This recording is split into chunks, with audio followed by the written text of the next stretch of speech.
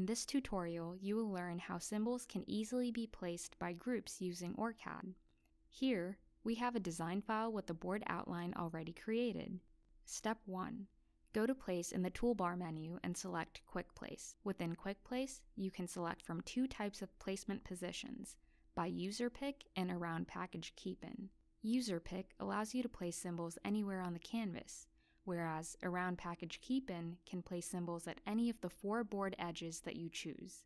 Step 2. Select User Pick and under the Placement Filter header, select Place by Schematic Page Number. This option allows you to place symbols in a group according to the schematic page number. Click on the ellipsis button to view the schematic pages listed in a hierarchical format. Select the pages of your choice and press OK. Then select the Place button to place the symbols anywhere on the canvas. Step 3.